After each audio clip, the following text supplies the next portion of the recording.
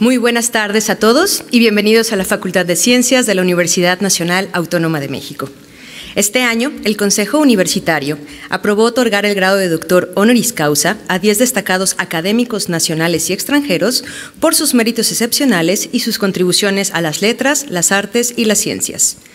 Los nuevos doctores honoris causa dan una conferencia magistral a nuestra comunidad y este año la Facultad de Ciencias se vistió de manteles largos recibiendo a tres de los diez nuevos doctores honoris causa. Y nos honra muchísimo que una de las galardonadas este año fue la doctora Julia Carabias, que es miembro de nuestra comunidad. Gracias doctora Julia por acompañarnos el día de hoy.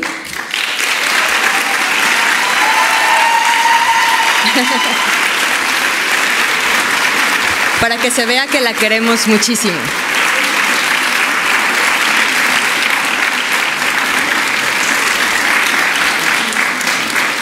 Me gustaría dar la bienvenida al doctor José Sarucán Kermes, coordinador nacional de la Comisión Nacional para el Conocimiento y el Uso de la Biodiversidad. Bienvenido, doctor Sarucán.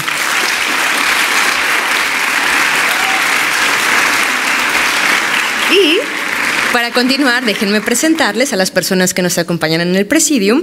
Primero, la doctora Catalina Stern, Stern Forgach, directora de nuestra Facultad de Ciencias.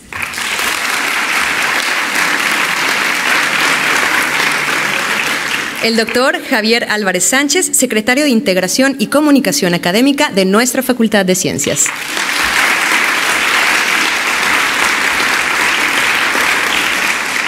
Y me permito cederle la palabra a la doctora Catalina Stern para que nos dé la bienvenida. Eh, hola, buenas tardes a todos. La Facultad de Ciencias sigue festejando. Gracias por venir a celebrar, a seguir celebrando los 80 años de esta facultad, doctor Sarucán. Qué honor que nos acompañe. Es un gran honor y un enorme gusto que la maestra Julia Carabias, profesora de tiempo completo de esta dependencia, haya sido galardonada con el doctorado honoris causa por la UNAM. Yo le agradezco que haya aceptado impartir su conferencia magistral en nuestro auditorio y permitido, y permitido enmarcarla dentro de los festejos de los 80 años. Ella es muy modesta, pero es un honor que lo haga. Julia ha sido una luchadora social y protectora del medio ambiente desde que la conocemos. El doctor Álvarez presentará en unos minutos su semblanza, mencionará su trayectoria, sus publicaciones y sus muy merecidos premios. Eso no me toca a mí el día de hoy. Yo, además de darles la bienvenida, solamente quiero hacer un comentario que me parece importante, sobre todo para los jóvenes. Julia Carabias ha logrado cambios importantes en la conservación y manejo de recursos naturales de este país, porque es una conocedora y estudiosa del tema. Su trabajo es muy serio, está sustentado por la experiencia y por bases científicas sólidas. Me parece muy importante hacer énfasis en que las ocurrencias, aunque sean con las mejores intenciones, nunca son suficientes para hacer cambios trascendentales. Este es un mensaje importante, estamos en la Facultad de Ciencias y así es como se debe trabajar es un ejemplo para todos nosotros. Gracias Julia por estar aquí, bienvenidos todos.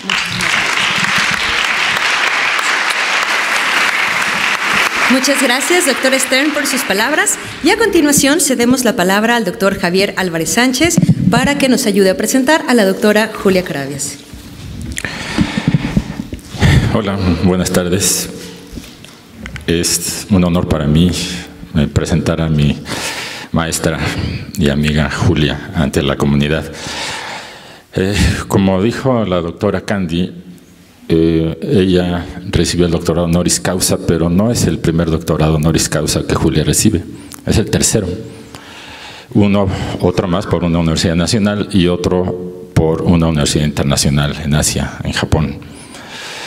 Eh, esto es consecuencia de esta larga profusa e importante trayectoria que ella inició más o menos en la academia en 1977, cubriendo todos los eh, responsabilidades y expectativas que tenemos de los profesores en esta universidad, en la docencia, en la investigación, en la difusión. En aquel entonces, que fue cuando su servidor y otros compañeros más la conocimos o fuimos sus alumnos, daba la clase de ecología vegetal y a partir de ahí ha dado muchos otros cursos, como obviamente manejo de recursos naturales, restauración ambiental, políticas públicas, entre, entre otros. Eh, su investigación no la voy a poder reseñar por completo, pero digamos que ha tenido quizá un par etapas muy importantes. Cuando ella en aquel laboratorio de ecología en los ochentas decide fundar el PAIR, así lo conocíamos en aquel entonces, que es el, era el programa de aprovechamiento eh, integral de recursos naturales, un programa interinstitucional donde Julia, eh, encabezando un grupo importante de, colegas y estudiantes, eh, establece este proyecto con convenios y participaciones con gobierno federal y con gobiernos estatales y donde empieza a hacer esta visualización del impacto de su trabajo con organizaciones rurales locales. Quizá podríamos decir que ello se, se potencializa cuando en el 2004 recibe el premio Cosmos y en el 2005 recibe el premio Campeones de la Tierra, que es con el cual yo diría es la punta de lanza para lo que es su trabajo en la selva lacandona. Y con los proyectos que tiene eh, ahora, con el conocimiento de la problemática en torno a todas las comunidades en el río Sumacinta, que es un proyecto donde participan 18 instituciones, una gran cantidad de, académicos y continúa formando estudiantes a través de ese, eh, de ese proyecto. Eh, en todo este proceso, eh, ella ha recibido muchos reconocimientos, no solamente premios, sino reconocimiento a su labor que le han permitido tener incidencia en una serie de comisiones muy importantes a nivel nacional y a nivel mundial como por ejemplo la Comisión de Países en Desarrollo para el Cambio Global, que produjo un documento muy importante para la Conferencia de Naciones Unidas y el Medio Ambiente. Eh, también formó parte del panel de alto nivel para el, eh, el, manejo sustentable global, que fue un documento que se virtió al Secretariado General de las Naciones Unidas y que generó eh, una serie de planteamientos que culminaron con el, em, el panel de desarrollo eh, sustentable en Río de Janeiro en 2012. Eh, como ya dijo nuestra directora, ella ha recibido muchos premios. Eh, no los voy a mencionar todos porque ya son muchos, pero quisiera recalcar los últimos, los dos últimos, sin contar el doctorado honoris causa que recibió ayer. En 2017, eh, Julia recibió la máxima distinción por parte del Senado de la República al otorgarle la medalla Belisario Domínguez. Y en 2008 ingresa al máximo claustro académico de este país, que es el Colegio Nacional. Es un resumen muy breve, porque eh, no es suficiente el tiempo para hablar de la trascendencia de la obra de Julia. Entonces, sin más, eh, le daríamos la palabra y bienvenida a tu facultad, Julia. Muchas gracias, doctor Álvarez. Y vamos a continuar con la conferencia. Los invitamos a que tomen sus lugares. Y a continuación, la doctora Julia Carabias con Ciencia y Políticas sobre Biodiversidad.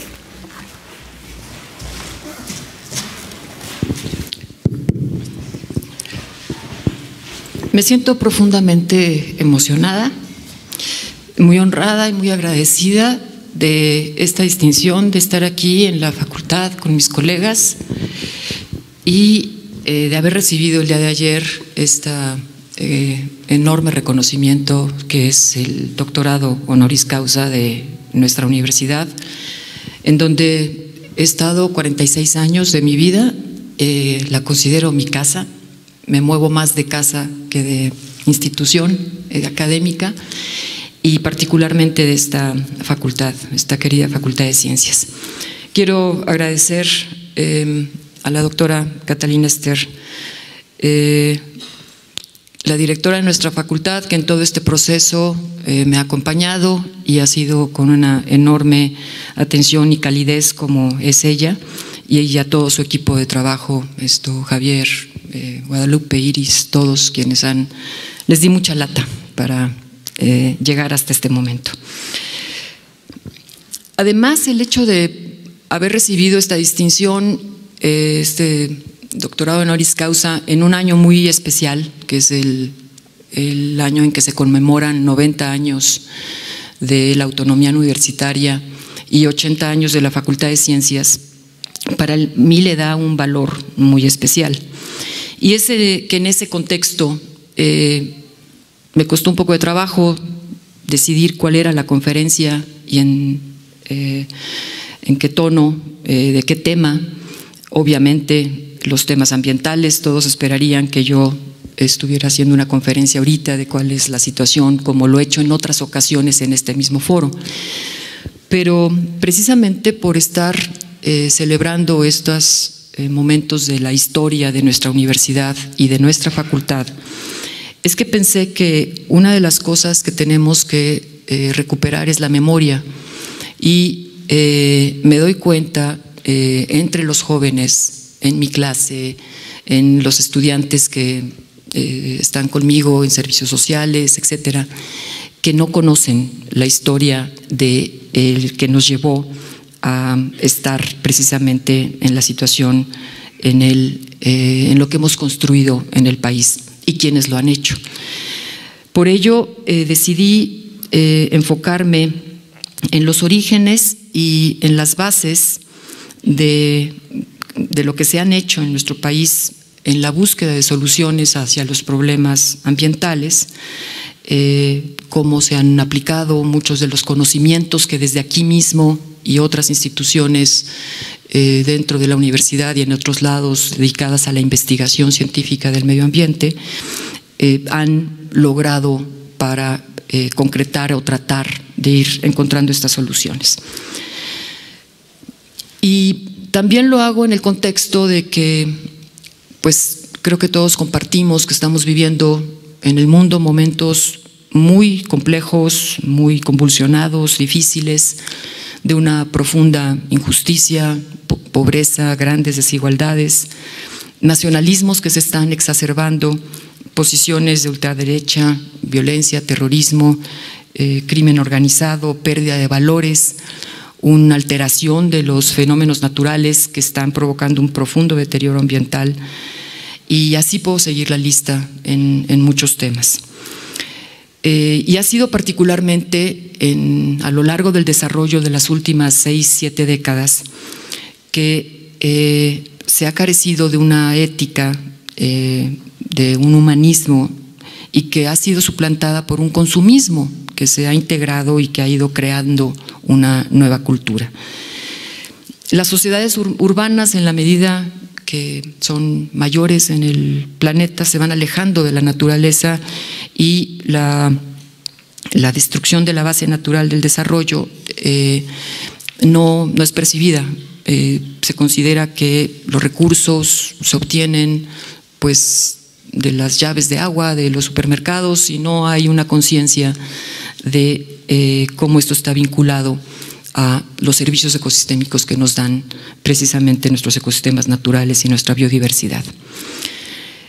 Eh, esto está poniendo en riesgo, y decíamos hace unos años, a las futuras generaciones, pero no ya a las futuras las generaciones que están aquí, a las futuras a las generaciones que ya llegaron y que en el 2050 eh, pueden tener 30, 40 años y que eh, pueden vivir en 4 grados centígrados más si no hacemos cosas ya. Por ello es que los jóvenes están reaccionando, por eso eh, cada vez más se organizan y reaccionan intensamente y eso está generando una esperanza que eh, nos abre el horizonte del cambio. Espero que eso se concrete y que no se desvanezca como en otros momentos ha ocurrido. En todo esto hay un rasgo adicional que, del cual quiero hacer énfasis, porque si me quedo haciendo énfasis hasta lo que he dicho, pues sería una presentación de las que ya les he platicado en otras ocasiones. Hoy quiero tocar, eh, como ya he comentado, esto, algo que me está preocupando profundamente y que creo debería ocupar seriamente a la UNAM y que la Facultad de Ciencias puede ser un espacio importante para esta reflexión. Lo hago con, con preocupación de cómo lo tomen, pero también con la tranquilidad de que estoy en mi casa y que si aquí no se puede reflexionar y no podemos pensar abiertamente y escucharnos, eh, no veo entonces en dónde se puede hacer esto. Y creo que desde estos tipos de foro, precisamente en uno que ha sido ejemplo de la crítica y de eh, los liderazgos eh, de lucha por la apertura de los espacios de la tolerancia, es el sitio en donde debemos de hablar estas cosas. Me preocupa enormemente que poco a poco se está colando, como la humedad, es eh, la negación de la ciencia y el desprecio por el conocimiento. Lo hemos escuchado primero hace unos años con Trump, luego le siguió Bolsonaro, se suma eh, eh, el presidente Polonia y así lo estamos escuchando más y más. Pero yo lamento decir que México no está exento de este rasgo. Escucho cada día más y más expresiones que están reflejando un creciente desprecio hacia la ciencia y al conocimiento y por supuesto con ello hacia los científicos. Muchas de estas expresiones se han enconado durante muchos años, incluso para algunas de ellas dentro de esta facultad.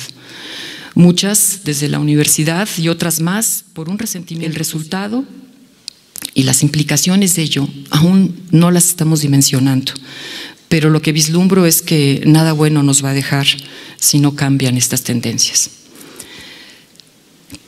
Creo que se está confundiendo la generación del conocimiento con la aplicación de este conocimiento por parte de los distintos sectores e intereses que conviven en nuestra sociedad. Además, se está mezclando el cuerpo de conocimientos científicos racional, accesible a todo público, obtenidos con un método, con los saberes tradicionales que tienen orígenes y métodos muy diferentes, a veces religiosos, a veces de la imaginación, pero que no por ello no son válidos, sí son diferentes y que tienen un rasgo muy particular, quienes han trabajado en las comunidades indígenas lo saben, no es un conocimiento que tenga acceso para toda la gente y principalmente porque son los propios indígenas los que no lo desean compartir. Quienes están eh, planteando que este es parte del conocimiento universal, no se está reconociendo que los dueños de ese conocimiento son muy celosos de sus propios saberes. Se comparten muchas cosas, pero muchas otras no porque son parte de su propia identidad y, propiedad. Incluso ocurre esto dentro de las propias comunidades. Hay sectores de esas comunidades que tienen derecho a ese acceso del conocimiento y otros no. Entonces, siento que quienes están emitiendo eh, esta insistencia no es una demanda de las comunidades indígenas, es una lectura de quienes haciendo ciencia y entrenados en la ciencia occidental están acercándose a estos procesos. Y hay que tener muchísimo cuidado, porque, como digo, las comunidades indígenas son orgullosas de sus saberes y son celosas de su conocimiento. Creo que se están emitiendo juicios y se están anunciando cambios que polarizan que excluyen, que confunden y que distraen a las tareas urgentes y fundamentales. Y veo muchos peligros en esta actitud. Por un lado, de, desestructurar procesos que son construcción colectiva, de desmantelar instituciones que son producto de largas luchas y conquistas de la sociedad, de retrasar los avances en temas graves que de graves están pasando a urgentes. Y por otro lado, desprotegen a muchos quienes trabajamos día con día en condiciones adversas y a río revuelto sabemos que se fortalecen los intereses turbios, quienes aprovechan la coyuntura y la polarización y avanzan en sus fechorías. Hay que revisar simplemente las repercusiones que están teniendo declaraciones que hubo al inicio del año en el Alto Golfo de California frente a los pescadores. Eso generó un conjunto de ilícitos que permitieron regresar al mar miles de redes ilegales que ya habían sido retiradas y los grupos de la sociedad que se han involucrado en esos procesos y que defienden hoy a la vaquita marina están amenazados. El discurso de que las áreas naturales protegidas son para la producción reactiva a un puñado de viejos líderes corruptos, quienes organizan con intereses espurios y por dinero algunos indígenas y campesinos sin tierra para invadir la reserva de la biosfera Montes Azules. Y en la confusión y protegidos por un discurso demagógico de supuesta defensa de los derechos indígenas, despojan de sus tierras a los pueblos originarios, tierras que además contienen los ecosistemas naturales tropicales que forman parte del patrimonio natural nacional. Procesos avalados lamentablemente por el gobierno y de paso, quienes trabajamos en esta zona en la conservación y desarrollo sustentable para el bienestar social de las poblaciones locales, nos sentimos atacados por quienes quieren destruir estos procesos de avance porque afectan a sus intereses legítimos. Y agradezco a los compañeros de Natura que están aquí y que se la están rifando todo el tiempo. Cuando se escucha en un canal universitario a una persona vehementemente decir frente a una funcionaria pública, la ciencia y la innovación tecnológica pueden tomarse un descanso y no haber reacciones suficientes, no haber reacciones de la funcionaria y muy pocas de los científicos y de los estudiantes, o que cuando se califica que la ciencia que no resuelve las desigualdades y la pobreza no tiene sentido, no puedo ver más que y sentir que algo va muy mal. ¿Por qué nos indignamos a que alguien como Trump niegue la evidencia científica del cambio climático, o como Bolsonaro que desprecia la biodiversidad de sus países, y nos conformamos en que en México se niegue la necesidad del conocimiento científico de la más alta calidad y no reaccionemos ante el desmantelamiento anunciado de instituciones que son la base del conocimiento de excelencia para la toma de decisiones en la diversidad biológica. ¿Quién tiene derecho a juzgar cuál es el conocimiento bueno y cuál es el conocimiento malo? Otra cosa es cuál es la aplicación del conocimiento, con ética o para intereses ilegítimos. Pero este debate está confundido y a la crítica se le calla con la descalificación y la arrogancia. Esto no implica que el quehacer científico de esta universidad y del resto de las instituciones públicas del país no se aboquen a la atención de los problemas nacionales. No es cosa nueva, lo hemos dicho y ejercido desde hace décadas. Esta facultad ha sido pionera en estos debates y en este mismo auditorio los llevamos a cabo con mucha gente que aquí está presente. Y los hemos defendido con ética. La materia ambiental, hay muchos ejemplos que hoy preocupan y por ello es que, por lo que esta conferencia he recurrido a nuestra propia historia para recordar y para que los jóvenes conozcan de dónde surge lo que hoy somos y tenemos. Voy a abordarlo desde tres vertientes y tratar de entrelazarlas. ¿Quiénes han construido las ciencias vinculadas al tema ambiental? ¿Cuáles fueron algunos de los contextos políticos que vivimos en sus momentos? ¿Y cómo derivaron esto en instituciones y políticas ambientales? Me voy a limitar al caso de la biodiversidad. Y si estaba un poco preocupada por esta conferencia, hoy lo estoy mucho más, por los actores originales que van a aparecer en esta presentación y por la cantidad de errores que puede haber, a la cual pido al auditorio de luego me mande para ir puliéndolos correctamente.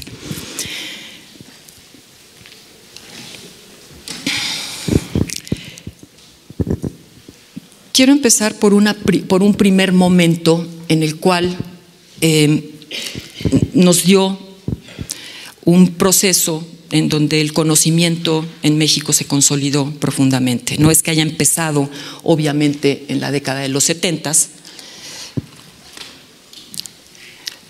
pero que eh, entender mejor nuestra biodiversidad, a través de la taxonomía, en dónde se encuentra con la biogeografía, cómo funciona con la ecología, nos fue dando eh, los elementos que después sin perder estos, sin, terminar estos, por supuesto, y nunca terminarán, es en la década de los 80 que empieza un proceso de aplicación de este conocimiento y que se desarrolla también junto con el conocimiento vernáculo. Ahí surgen eh, la parte de la etnobiología más fuerte, aunque venía desde antes, la agroecología, el manejo de los recursos naturales.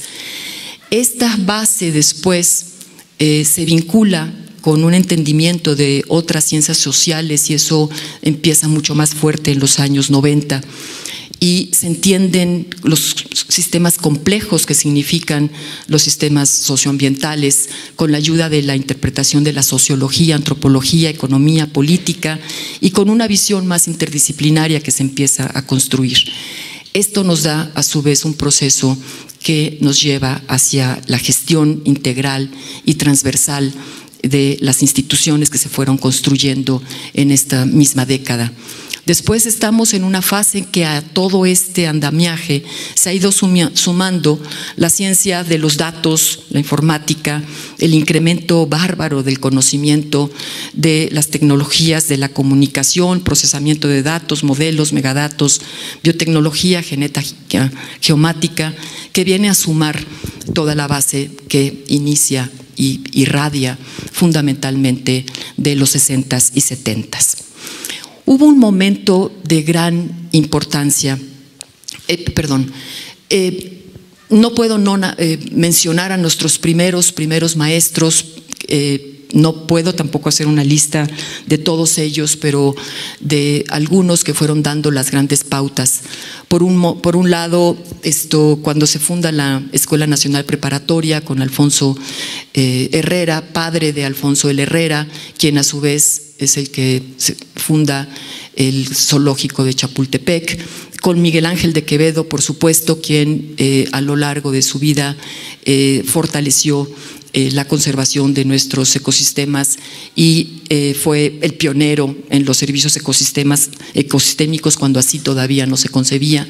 Maximino Martínez, quien fue uno de los botánicos mexicanos tan importantes, Rafael Martín del Campo, quien además de eh, ser zoólogo, eh, dedicó eh, mucha parte de sus estudios hacia el conocimiento de la, de la, zoología en los códices y por lo tanto en las raíces nahuas de la nomenclatura.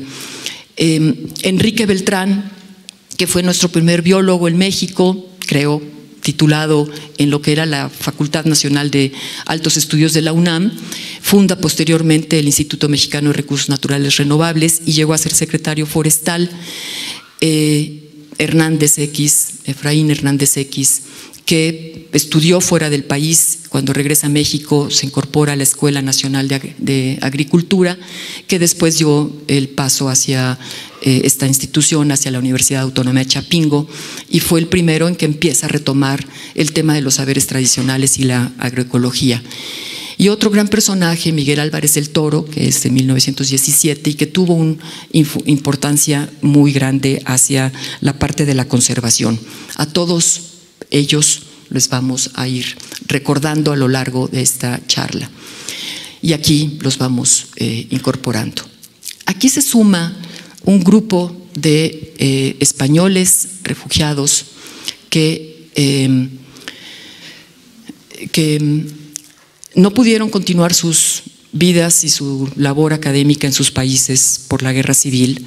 Y algunos vienen a la Facultad de Ciencias como fue el doctor Enrique Rioja y al Instituto de Biología, Faustino Miranda igualmente al Instituto y a la Facultad, Federico Bonet que se fue para la Escuela Nacional de Ciencias Biológicas del Instituto Politécnico Nacional, Ignacio Bolívar Zapata creo que no ingresó a ninguna de estas instituciones, pero tuvo una influencia muy fuerte como un taxónomo entomólogo y también un exiliado del nazismo eh, que viene después de una eh, vida muy difícil en sus primeros años, botánico, ejemplar, fitogeógrafo, que él lamentablemente la UNAM no le abrió las, puertas en el gobierno de Miguel Alemán, eh, no pudo su padre regularizar sus papeles a diferencia de lo que hizo Cárdenas y su padre regresa y él sí es aceptado en el Instituto Politécnico Nacional, si no sería también de la Facultad de Ciencias como él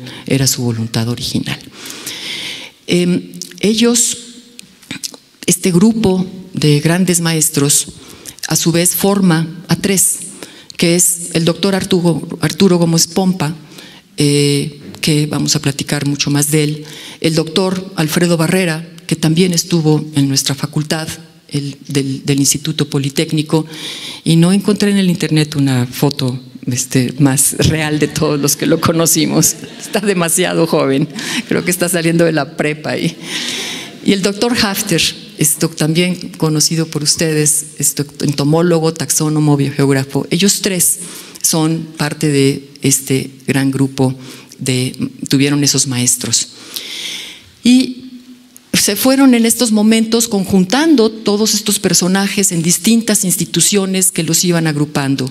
La Escuela Nacional de Agricultura, obviamente, fue una, la Sociedad Mexicana de Historia Natural, la Sociedad Forestal Mexicana, el Instituto de Biología, el Zoológico Chapultepec, la Escuela Nacional de Ciencias Biológicas, esta facultad, el Zoológico de Tuxtla, el Instituto, el, el, como lo conocíamos, la Academia Mexicana de Ciencias y la Revista de Ciencias, el Colegio Posgraduados, el Jardín Botánico, instituciones que durante esta primera parte del siglo pasado fueron conjuntando a eh, todos estos maestros. Pero hubo un parteaguas muy importante que fue el paso que dio verdaderamente a la consolidación y a la construcción y generación de la ecología en México. Y esto fue una comisión que se llamó la Comisión de, em, la comisión de Estudios Ecológicos de las Dioscóreas, en la cual hubo un, descubrimiento. Primero, este Russell Marker eh, descubre que se puede eh, fabricar hormonas a partir de eh, la diosgenina, que son esteroides, y que esto fue, eh, esto podía producir la cortisona, los anticonceptivos, y ahí se desarrolla la industria farmacéutica en México, Sintex, Farquinal y, Ciba. Menciono esto porque aquí hay un dato interesante que luego voy a sumar. El origen de esta diosgenina viene en las especies silvestres de las dioscóreas y estas dioscóreas por lo tanto empiezan a demandarse profundamente y en México tiene una gran variedad de especies de dioscóreas y, la eh, composita es endémica de México. Y aquí empiezan entonces a aparecer los personajes que estoy mencionando. Por un lado es Enrique Beltrán, eh, que en ese momento era subsecretario forestal y le tocaba a él otorgar los permisos pero preocupado de un proceso de sobreexplotación de estas especies, entonces eh, decide promover un proceso de investigación esto, para que estos permisos pudieran estar basados en proceso científico. Y ello nos lleva entonces a un vínculo porque Enrique Beltrán, eh, compañero de Faustino Miranda, y Faustino Miranda, amigo del el director de Farquinal, también refugiado español, Giral, y de Siva, otro refugiado español, Julio García. Entonces, Farquinal quiere un biólogo y eh, la asesoría que hace Hernández X y Faustino Miranda a Enrique Beltrán hace que ese biólogo fuera Arturo Gómez Pompa un estudiante reciente salido de la carrera y se encuentran en, un, en una ceremonia del Instituto de Biología, se conocen y ahí Faustino Miranda le dice a Gómez Pompa que si quiere entrarle a esta posición. Vamos a escuchar, si no nos falla la tecnología, de su protagonista directamente,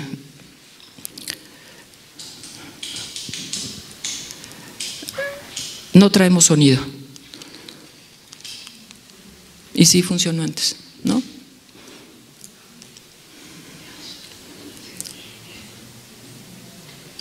No. Zonas tropicales mexicanas, especialmente en las zonas de segundo crecimiento, acahuales, eh, ha sido uno de los mayores descubrimientos de los últimos años porque se ha encontrado la forma de sintetizar las hormonas esteroides a partir de un principio activo que tienen estas plantas en su camote, en su rizoma. De estas plantas, de este principio activo, se, fabrican las píldoras anticonceptivas y muchas de las hormonas esteroidales que son de amplia utilidad en la medicina, como la cortisona. Eh, este es uno de los ejemplos de lo que las selvas tropicales y sus biotas silvestres puede dar a la humanidad. Existen probablemente muchos otros barbascos por ser descubiertos en, en medio de las selvas tropicales del mundo. Bueno, pues ese es Gómez Pompa, para quien no lo conociera, a los 30 años. Existen muchas plantas. El doctor Gómez Pompa, entonces, como director, eh, como director de la Comisión de Dioscorias, eh, convoca a algunos biólogos que era más joven en su momento. Esto, el doctor Sarucán, pero no encontré una foto tuya muy joven este, y no te la pedí. Esto, el doctor Sarucán, eh, biólogo de la Facultad de Ciencias, que fue también amigo de Enrique, eh, alumno de Enrique Rioja, de Faustino Miranda, el doctor Mario Sousa y el doctor Miguel Ángel Martínez Alfaro, de la facultad, todos ellos, y todos alumnos de los grandes maestros que hemos eh, comentado. Aquí se fortalece mucho la taxonomía, aquí nace, o no nace, pero se empuja y brinca esto con eh, Hernández X, esto Miguel Ángel Martínez Alfaro, la etnobotánica, eh, y con Hernández X la agronomía, y aquí es el origen del fortalecimiento de la ecología. Déjenme poner lo que estaba pasando en el país en esos momentos. Estamos hablando de eh, los años 60, en donde había un crecimiento de la clase media eh, urbana, esto con mayores niveles de educación, que eh, se está sintiendo asfixiada por un gobierno muy autoritario, no hay libertades, el legislativo y la Suprema Corte están controladas por el presidente en turno, eh, se está dando un crecimiento económico importante, con orden, estabilidad, pero con mucha intolerancia política y con la imposibilidad de ejercer los derechos y las libertades. Empieza a diversificarse la, sociedad plural y surgen movimientos sindicales de maestros, médicos, ferrocarrileros, petroleros, el movimiento estudiantil del 68 en la defensa de las libertades. ¿Y qué nos estaba pasando al tiempo con este proceso de desarrollo y los impactos ambientales que estaban dando. Esta clase media, más demandante, eh, urbana, empieza a consumir más proteína animal. Eh, es el momento en que se pierde la autosuficiencia alimentaria porque el, precio del maíz se desploma en el mundo y entonces los capitales se van de eh, la ganadería, de la agricultura a la ganadería y entonces se descubre que el México tropical existe y estos movimientos de campesinos que se están surgiendo van eh, desahogándose, entregándoles tierras con eh, los grandes megaproyectos del trópico, el Chontalpa, Banalcante, Nosique. Y ahí inicia la destrucción masiva de las selvas. Todavía no pasaba nada demasiado ahí. El, el doctor Arturo Gómez Pompa pues desarrolla más la parte de regeneración de selvas tropicales eh, como producto de mucho el conocimiento que va surgiendo de la Comisión de Dioscorias, forma a dos maestros de nuestra facultad, Sergio Guevara y Carlos Vázquez, y de ahí salimos un grupo este, eh, de, personas que aquí estamos hoy, la mayoría o todos, y que eh, paro hasta esta generación de los 60. De ahí para abajo habría que hacer una cuestión completamente explosiva.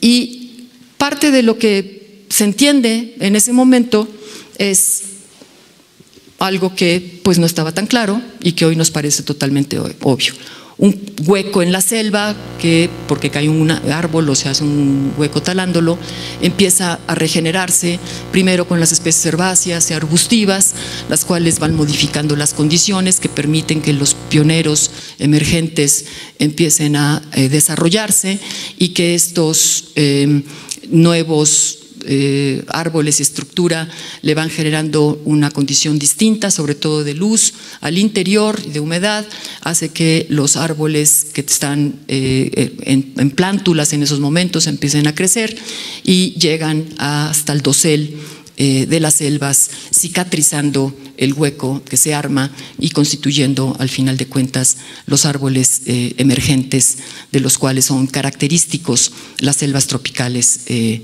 que están en el mundo. El, el doctor Gómez Pompa tiene además otro momento muy importante, que es el Uxpanapa. Y en el Uxpanapa eh, hay un proceso de reacomodo de los chinantecos de Oaxaca, porque se va a construir una presa en esos momentos en Cerro de Oro, y eh, se, se, traslada en esta zona, se destruyen 85 mil hectáreas de selva, y esto va generando una oposición que va encabezada por el doctor Gómez Pompa y se incorporan en eso otra vez un grupo de tesistas, entre ellos los que después desarrollan la parte etnobotánica, como Javier Caballero, esto, el botánico eh, Antonio Lot, Wilfrido Márquez, Ramón Echenique, que es ingeniero forestal. Y me preocupo un poco del tiempo, pero creo que vale la pena, perdón, si no corto luego otra parte. Escuchemos y veamos ¿Qué fue el Uxpanapa. Este lugar fue escogido por la Comisión del Papaloapan para realizar uno de los proyectos más importantes de colonización masiva, el traslado de grupos de indígenas chinantecos que fueron desplazados por la construcción de la presa Cerro de Oro en Oaxaca. Por un lado, algunos científicos mexicanos, apoyados en una experiencia de más de 10 años de investigaciones botánicas y ecológicas en regiones tropicales, vieron con profunda preocupación la forma en que se estaba desarrollando tanto el problema social y humano del reacomodo como el problema del manejo ecológico de la región. Eh, soy el ingeniero Rafael Gamboa Martínez, residente general del Distrito de Drenaje de Uspanapa en construcción el objeto de las obras del Distrito de Drenaje de Uspanapa es adaptar una zona en la región para reacomodar un grupo de giratarios que se ven desplazados por la construcción de la presa de Cerro de Oro en el Alto Río Papaloapan. Las características de Uspanapa, que corresponden, como ustedes podrán ver, a una región eh, virgen. La zona, el trabajo en sí consiste en abrir un claro en la selva de 85 mil eh, de poco más de 100.000 hectáreas. Claro, en la selva. En la, en la, que se está adaptando para que estas gentes se les asegure un modo de vida, tengan un terreno para trabajar. Se solicitó la intervención de investigadores científicos de la Universidad Nacional Autónoma de México para que sugirieran medidas en el mejor uso de los recursos de la zona y evitar problemas ecológicos. El Consejo Nacional de Ciencia y Tecnología, a petición de las más altas autoridades del país, intervino para coordinar los proyectos de investigación en este programa y presentó un plan de investigación elaborado por el Instituto de Biología de la UNAM para someterlo a la consideración de la Secretaría de Recursos Hidráulicos, institución responsable del programa de reacomodo en la región. Las investigaciones del Instituto de Biología de la UNAM tuvieron como principales objetivos realizar un inventario de los recursos vegetales más importantes de la región, conocer el uso de estos recursos por los habitantes actuales y las posibilidades futuras de utilización de los mismos, logrando así una evaluación ecológica del Programa General de Desarrollo. Conocer las experiencias de los campesinos que ya habitaban la región y hacer recomendaciones para usar en una forma conservacionista los recursos renovables de la zona.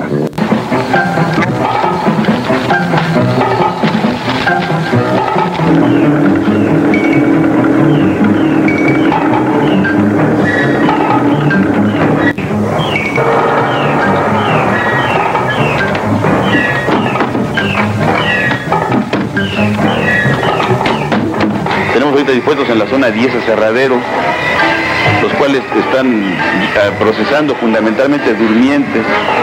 Es eh, conocido de todos ustedes la, carencia del país. En cuestión de durmientes, los ferrocarriles nacionales normalmente importan cantidades considerables de durmientes y ni así se dan abasto para la rehabilitación del sistema.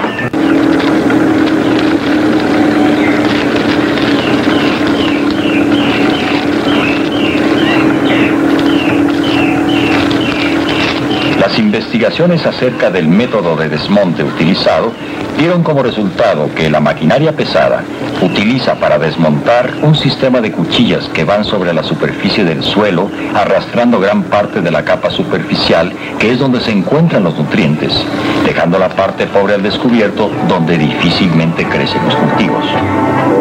Mira, aquí tenemos esta milpita que vemos que no tienen fuerza y no será, bueno, no será que porque se quitaron todo la voz natural que tenía.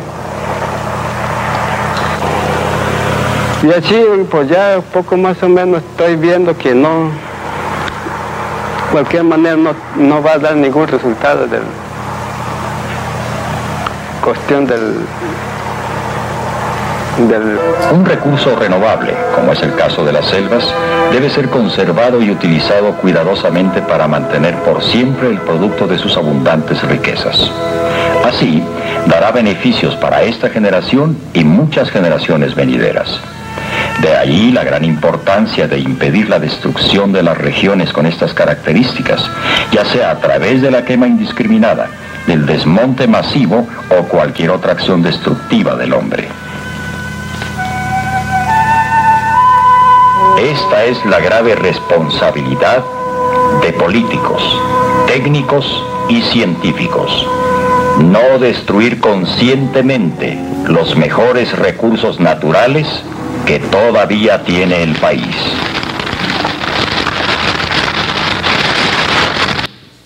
Este lugar fue... Bueno, el, el resultado todos lo conocemos la oposición no permitió detener esta devastación de las selvas, las selvas continuaron perdiéndose, de 12 millones de hectáreas originales queda apenas uno, la mitad en, la región de la selva lacandona, la otra mitad en Chimalapas, a grandes rasgos. Eh, y hoy Uxpanapa es una zona de pobreza extrema, es una zona sin sus recursos naturales, es una zona tomada por el crimen organizado. Y eh, la historia esto demostró que eh, para un pequeño grupo de chinantecos que se, que traslocó a esta zona, esto no era necesario, evidentemente, el pequeño claro de 85 mil, 100 mil hectáreas que eh, provocó pues, el inicio, junto con Chontalpa y Balancante-Nosique, de este proceso. Lo que dio origen a esto, este proceso de Luxpanapa y ese involucramiento, es al Instituto Nacional de Investigaciones sobre los Recursos Bióticos, el INIREF. Eh, ahí se hace toda una escuela hacia el manejo de los recursos naturales. Silvia del Amo, un personaje importante en todo este proceso. Y ahora paso al otro cuadrito que andaba por allí, que se forma con el doctor Gómez Pompa y es el doctor Sarucán. Eh, quien, como decía, es eh, egresado de esta facultad, y ahí están otra vez sus maestros, Rioja, Gómez Pompa, Miranda, eh, y después con Hernández X en el colegio posgraduados.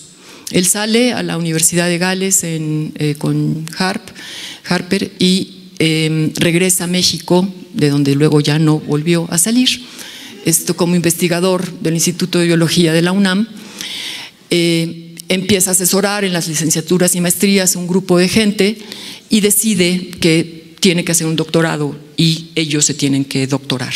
Así que empuja a este grupo, que este está sentado al lado del doctor, este, Daniel Piñero, esto, y se, eh, se, van a su doctorado, regresan y se, diversifica el entendimiento de la ecología eh, con una visión de demografía, ecología de poblaciones, reinteracción planta-animal, etcétera. De aquí, este grupo crítico de gente forma el Departamento de Ecología del Instituto de Biología, después se constituye el Centro de Ecología, donde se incorpora también Ezequiel Escurra, el Instituto de Ecología, y ahí se incorpora mucha otra gente que lamentablemente no estoy colocando y no estoy siendo justa con ellos, pero me desbordo en tiempo y en láminas. La biogeografía se fue consolidando en su parte de geografía con Alfredo Barrera y Gonzalo Hafter y la fitogeografía con Rendowski. Y eh, Alfredo Barrera estuvo en nuestra facultad unos años en el laboratorio con, formando a Lucia Almeida, Isolda, Alicia Bárcenas, eh, Bárcena, perdón. Esto, Gonzalo Hafter pues a, su vez en esta materia va formando a Morrone, Mayorente, de esta facultad. En la taxonomía, aquí tendría que haber muchos otros cuadros, mucha más gente de la que está aquí señalada, pero se van produciendo obras muy importantes, Flora de México, Flora de Mesoamericana, en aquella época debates importantes, los tipos de vegetación de México y su clasificación, que, Miranda y Hernández X, la vegetación de México con Drendowski, muchas floras regionales, igualmente en la parte de los zoólogos, varios que son parte de nuestra facultad. En etnoecología y agroecología, eh, con los maestros que ya he señalado, Alfredo Barrera, Hernández X y eh, Martínez Alfaro, eh, en la facultad se va formando Argueta, Toledo, Caballero, Colunga, Arellano, Zamudio, Montserrat Gispert, de Chapingo está Luis Arias, Manuel Parra, Luis, María Luisa Ortega, Carlos Solano, que hoy varios de ellos están ubicados en distintas áreas que em, están todavía trabajando profundamente en estos, en estos temas. Y se va desarrollando paralelamente, aunque esto no es tanto en la, en, la ciencia de la eh, conservación, sino en la aplicación de ello para la conservación, Gonzalo Hafter, quien eh, participó primero Gómez Pompa y luego eh, se le pasa la comisión a él, esto, en este programa de Hombre y Biosfera, el MAP, de la UNESCO, en donde se acuña en los 70 el concepto de reserva de la biosfera, que ya no es un concepto que implica una restricción tan fuerte como eran los parques nacionales en las áreas naturales protegidas. Y Gómez Pompa lo empuja y lo adapta y se llaman reservas de la biosfera al estilo mexicano en Mapimí y en Montes Azules, estoy en la Michilía, perdón, aquí me faltó Michilía, esto, y un poco después, hacia los 80, eh, va participando eh, ya no con tanta em, actividad como hizo en esto, pero eh, influye sobre las reservas de Siancán, el cielo, el triunfo, Manantlán, en donde se vincula allí Javier de la Maza y arrancan un proceso y después retomo esto en un momento más. Es aquí la época además en que estamos en la lucha de la reserva del Pedregal de San Ángel. Déjenme otra vez colar aquí una situación política que tenemos en México. Estamos hablando de los años 70 y aquí se están eh, eh, multiplicando los brotes del sindicalismo, de invasiones de tierra, movimientos guerrilleros, emergen muchas nuevas publicaciones y partidos. Son las elecciones, a pesar de esta eh, sociedad muy convulsionada, en el 76 no hay más que un solo candidato con el 100% de los votos y entonces pues eso no da. Esto hay una paradoja con una sociedad tan este, activa, con una oposición electoral y con un solo candidato. Y eso nos lleva entonces a la primera reforma electoral en nuestro país. Y eso pone el rumbo en México hacia otra dirección. Eh, se registran por primera vez partidos de izquierda, en este caso para las elecciones del 82 el PESUM, y se van encontrando las rutas de que de la violencia se pase a la democracia. En términos de, de, lo que está pasando con las bases de la política ambiental, como comentamos, pues la ciencia de la ecología empieza a dar evidencia del deterioro, se están dando las primeras manifestaciones sociales, Uxpanapa es el detonador de ellas, y, y además está la cumbre de medio ambiente en Estocolmo. Pero esta cumbre, su tema es el tema de la salud, el tema de la contaminación y sus efectos en la salud pública. Y entonces no tiene que ver con esto que se está gestando en México. Y México responde ante estas, eh, ante la cumbre con construir una subsecretaría de salud, eh, perdón, de medio ambiente en la Secretaría de Salud. Allí CEPAL está haciendo una crítica muy ardua sobre la economía clásica, el, crecimiento con rostro humano, y empieza a acuñarse el término de ecodesarrollo, que fue el que más o menos le bajó la presión a la cumbre de la Tierra entre los países desarrollados y los países en vías de desarrollo. En México, Enrique Leff es quien promueve principalmente el ecodesarrollo. Este contexto nos está dando entonces una parte de la ecología y la política, y no quiero quítela ahí muchas veces y las volví a poner. No es ecología política, es ecología y política. Se fueron conjuntando estos procesos. ¿Cómo? Hay dos partes que a mí me parece que fueron claves en ello.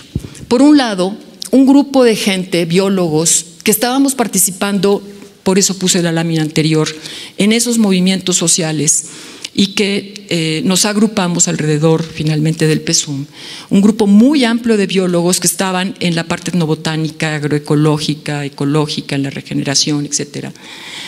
Eh, elaboramos un planteamiento que fue una llamada al debate para que el PESUM lo tomara en su plataforma política.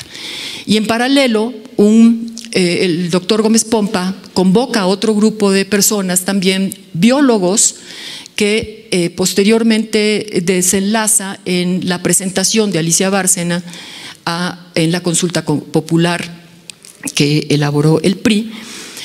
Eso, estas dos cosas y el ambiente que se fue generando en el país en torno al tema ambiental, fue lo que permitió construir la CEDUE. Esa CEDUE fue la primera institución ambiental que tuvimos en México, entre 82 y 92. Alicia Bárcena fue la primera subsecretaria, llama a muchos biólogos, a Annalisa Naya y al grupo de Javier de la Maza, esto que eh, impulsan la creación de muchas nuevas áreas protegidas.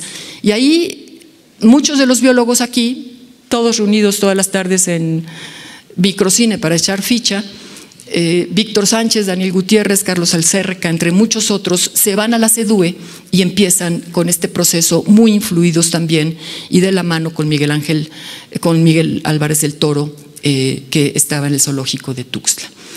Este proyecto, este, perdón, grupo de gente eh, de la Facultad de Ciencias, porque aquí eran también del Instituto de Biología mucha gente y del Jardín Botánico, eh, dio origen a lo que se refirió eh, Javier en la presentación en la Facultad de Ciencias del Programa de Aprovechamiento Integral de Recursos Naturales. Empezamos trabajando en la montaña de Guerrero y nos seguimos posteriormente trabajando en otras tres regiones de pobreza extrema y comunidades indígenas del país.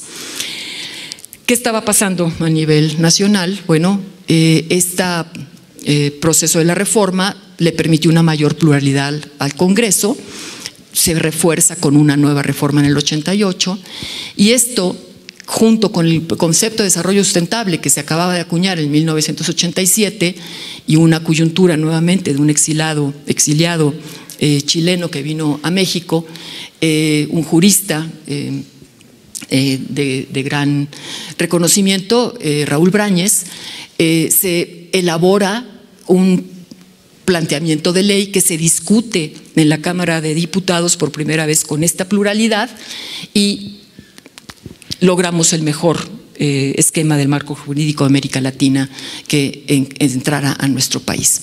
Están creciendo en esa época de los 80 fuertemente las organizaciones ecologistas y eh, la academia empieza a meterse más y más en el manejo de los recursos naturales, las comunidades indígenas. Es la época de la cumbre de la tierra.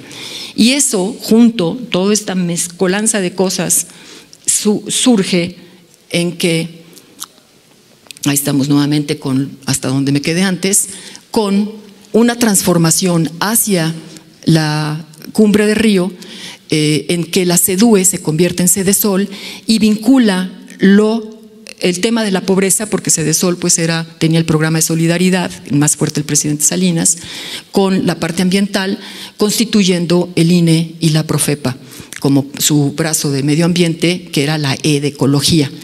Y ahí nace la institución más importante que tenemos en nuestro país de biodiversidad, la CONAVIO.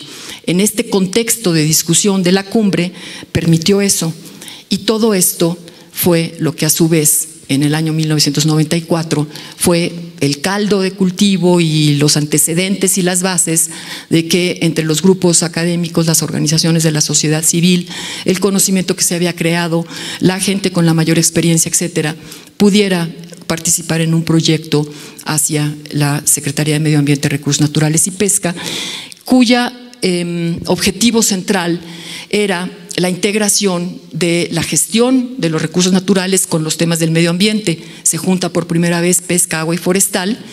Se hace una nueva reforma jurídica a muchos ordenamientos jurídicos, se diseña y se articulan nuevas políticas y programas, instrumentos, ahí hay muchos de ellos, todos estos relacionados con la biodiversidad, las ANPs, la vida silvestre, el desarrollo rural, manejo forestal sustentable, pesca responsable, se consolida eh, la, CONAVIO, eh, hay una apertura de espacios para la participación social sin precedente y la responsable de esto también está aquí sentada, Hortensia, el inicio de un proceso de gestión intersectorial.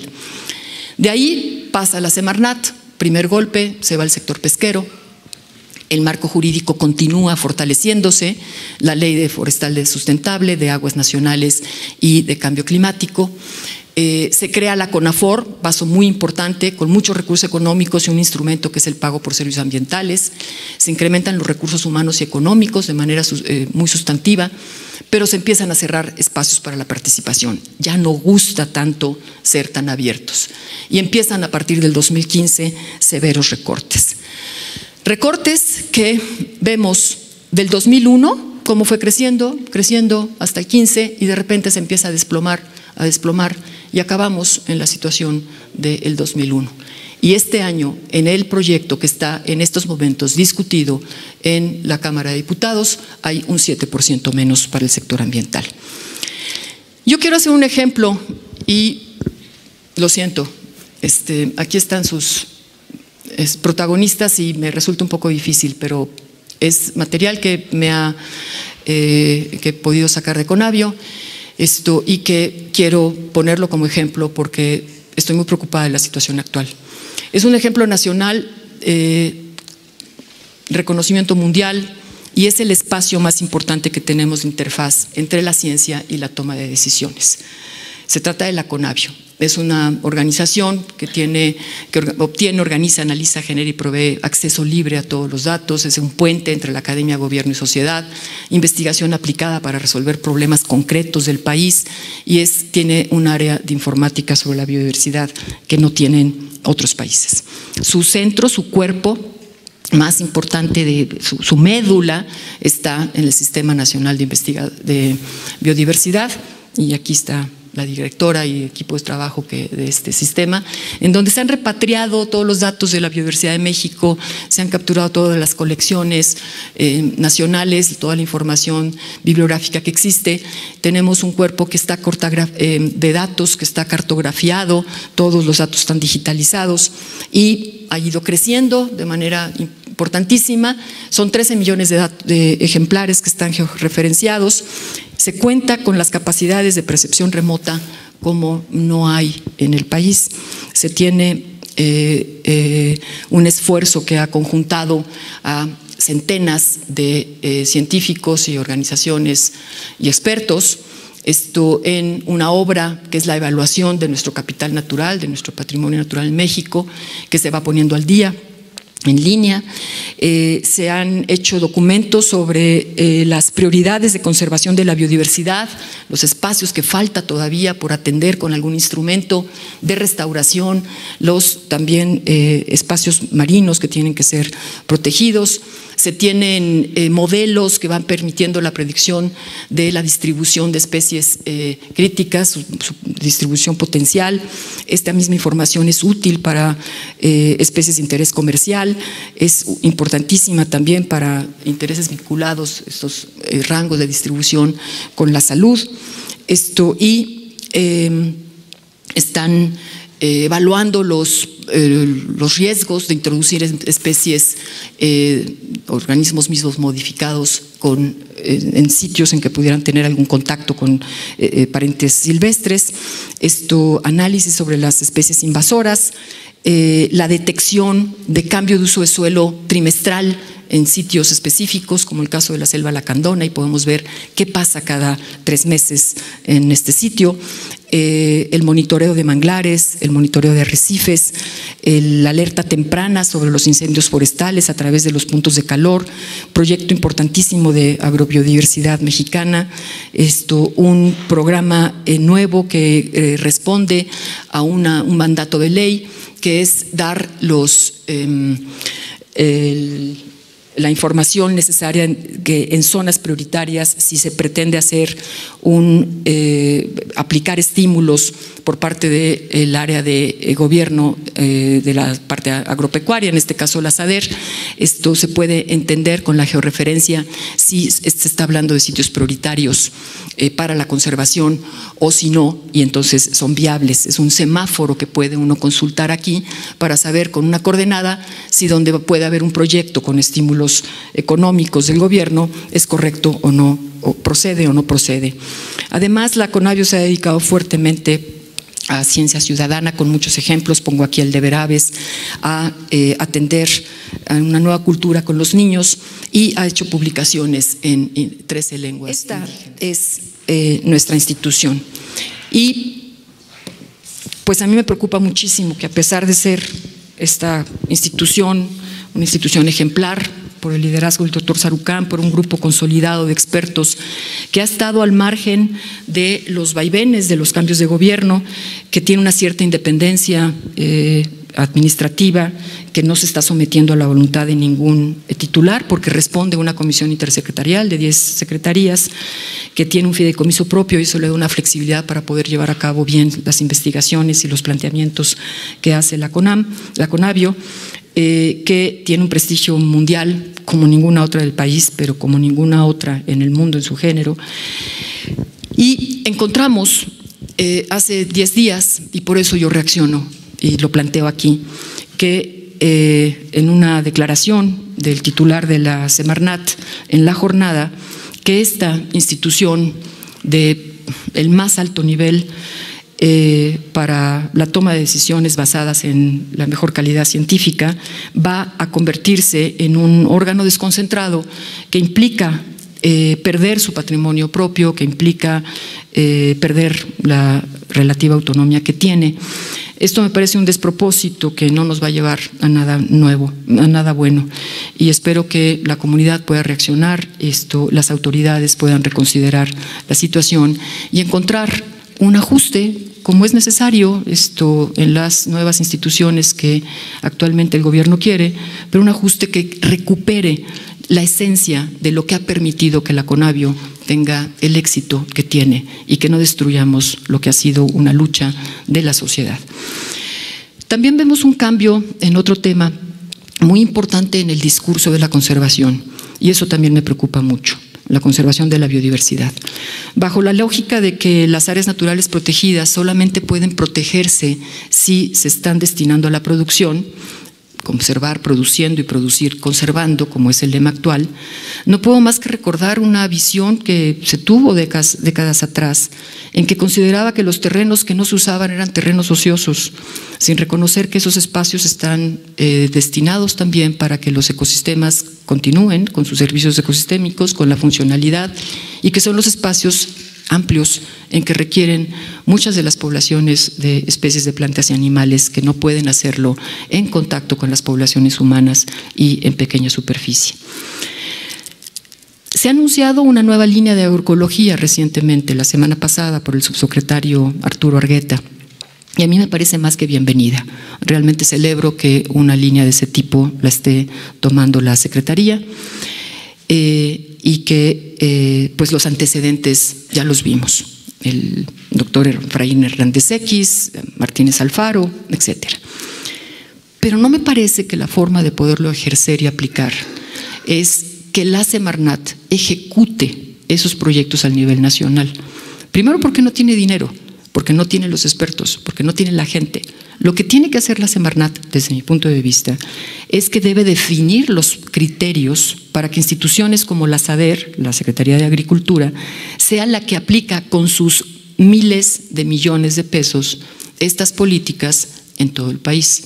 Y entonces vayamos girando de las grandes eh, formas intensivas de producir con agroquímicos, etcétera, hacia procesos mucho más agroecológicos. Y no hacerlo con pequeños proyectitos piloto. Para eso están las universidades, para eso están las ONGs. Esto es una política de gobierno y tiene que ser una política que abarque al país o a regiones prioritarias, pero con recursos económicos que permita hacer el cambio. Si empezamos a sembrar una expectativa en comunidades que no se pueda cumplir por falta de recursos económicos y de recursos humanos, vamos a blindar a las comunidades de no querer seguir haciendo como nos está pasando y nos ha pasado ya en muchos lados. La nueva línea de agroecología, perdón, em, tampoco se ha sido claro frente a los grandes megaproyectos, los proyectos como el Tren Maya, el Canal Intercostero, la refinería de Dos Bocas que ya ha causado esta refinería impactos ambientales importantes en términos del manglar. Eh, y que está respondiendo una política que no es la política de la transición energética, que nos está deteniendo esta política y nos está llevando y enfatizando nuevamente el tema de los hidrocarburos. Como México hemos firmado todos los tratados internacionales, el de cambio climático, hemos eh, acordado y, tenemos un compromiso con los acuerdos de país, nos obliga a ir eh, eh, disminuyendo las emisiones de gases de efecto invernadero, pero la política con dos bocas nos está llevando más hacia los hidrocarburos. No vamos a cumplirlo. Y algunos podrían decir, bueno, pues eso es un rollo internacional y nosotros porque tenemos que darle cuenta. No, eso es una agenda nacional, porque si no cumplimos eso, quiere decir que no estamos cumpliendo con nuestra propia agenda nacional. Y es una agenda del desarrollo sustentable, es una agenda de, de los objetivos de desarrollo sostenible que implica un bienestar para la sociedad. Y además, los tratados internacionales que han sido eh, firmados constituyen hoy el cuerpo legal, el marco legal eh, de la, eh, legislación mexicana y la Suprema Corte ha definido que son la base del derecho constitucional a un medio ambiente sano. Entonces, estamos también eh, incumpliendo el, por parte del gobierno que está obligado a garantizar el medio ambiente sano para su sociedad.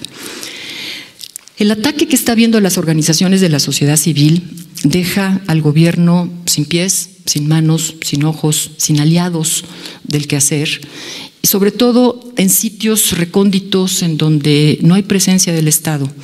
Al quitar también la presencia de las organizaciones y desprestigiarlas o debilitarlas, otros actores están fortaleciendo y lamentablemente no es el gobierno el que se fortalece, es eh, ese vacío lo que está generando la ocupación por crimen organizado en muchos de estos sitios.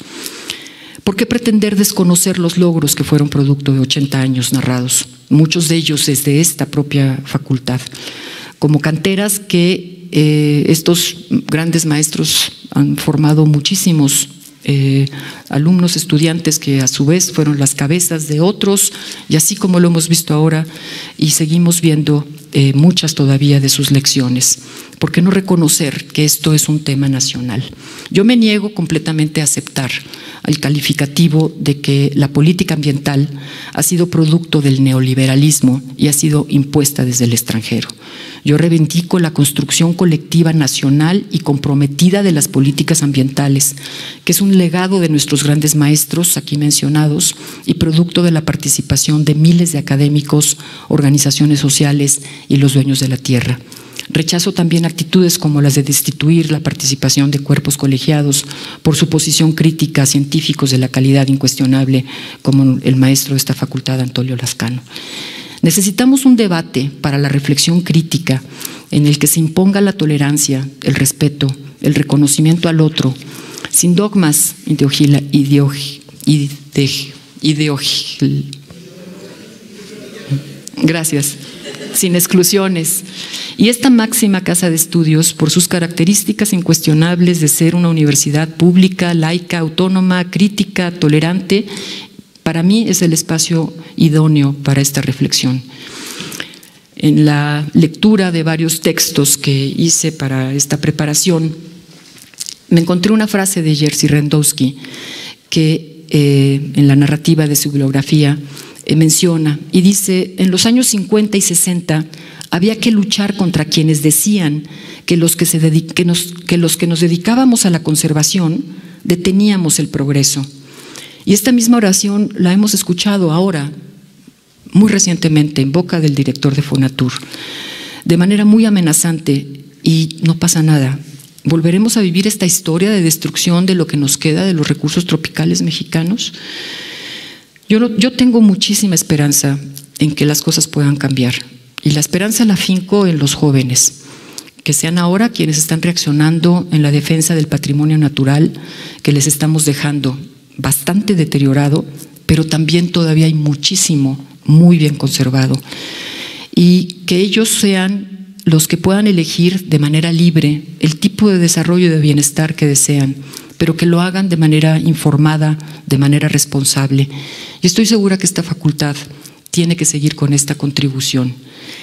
Espero que este debate que se pueda armar entre las distintas posiciones pueda ser alimentado de esta facultad, porque lo que nos está haciendo mucho daño es que si los temas ambientales son tan serios, están siendo un problema verdaderamente que está afectando a la civilización y el funcionamiento del planeta, sea entre el propio gremio en el que nos estamos dinamitando. Creo que hay que tener un entendimiento, encontrar los puentes comunicantes, poder ver la ruta de largo plazo y saber que los enemigos no están en casa, que el gran problema es que tenemos que hacer cambios sustantivos de los cuales nos estamos distrayendo y estamos bajando la guardia. Muchas gracias por su atención y perdón por lo largo.